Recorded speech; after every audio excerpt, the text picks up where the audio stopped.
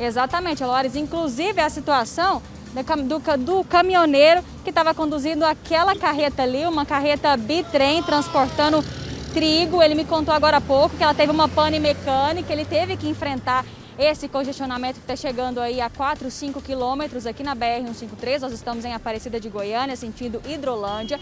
Ele me disse que justamente ele é controlado por GPS, né? Ele não pode desviar a rota, porque existe essa rota alternativa entrando aqui na Vila Maria, passando pelo Jardim Paraíso, consegue ter acesso à BR novamente lá na frente. Ele me disse que ele não pode fazer isso porque tem justamente esse sistema aí de rastreamento que faz o bloqueio do caminhão. Ele acabou então tendo uma pane mecânica aqui.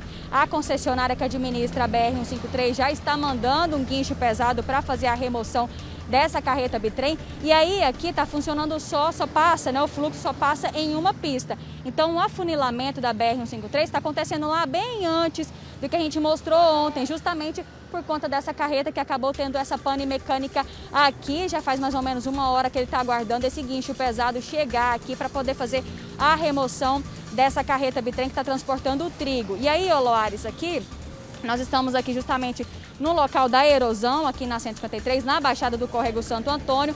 A gente consegue perceber que a questão do aterramento com as pedras já está bastante avançado, né? A gente está vendo aqui a retroescavadeira parada, porque agora as equipes estão em horário de almoço, mas o aterramento, segundo o próprio engenheiro me informou, eles, já, eles devem terminar essa parte de colocar as pedras assim, uma em cima das outras, até amanhã, para a partir daí fazer esse novo pavimento aqui. Outra coisa que eu queria chamar a atenção também, que a gente falou bastante ontem, né, Oloares, é o seguinte, a gente começa a perceber umas rachaduras aqui no asfalto, porque aqui a gente sabe, né? Passa caminhões pesados, carretas pesadas aí transportando, aquela ali, por exemplo, mesmo que teve a pane mecânica muito pesada. E eu chamo a atenção para essas novas rachaduras que foram surgindo aqui ao longo da rodovia. A gente está mostrando aí o Jaraguá, Jaraguá mostrando neste exato momento essas novas rachaduras.